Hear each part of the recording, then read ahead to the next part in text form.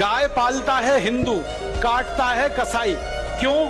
हिंदू बेच देता है, कसाई काट देता है। और हिंदुओं को पूछो, भाई गाय क्यों बेची? कहने लगे, जी, दूध नहीं देती। दूध तो थोड़े दिन के बाद अपनी अम्मा भी नहीं देती। उसको भी बेचोगे? गाय अपनी माँ के जैसी है। उसको कभी बेचना नहीं। किसी कसाई को देना नहीं। बहुत पाप पड़ेगा। अगर उसकी मृत्यु होती है तो ऐसे ही उसका अंतिम संस्कार करो, जैसे अपने घर के लोगों का किया जाता है। अच्छा सा खड्डा खोद के उसको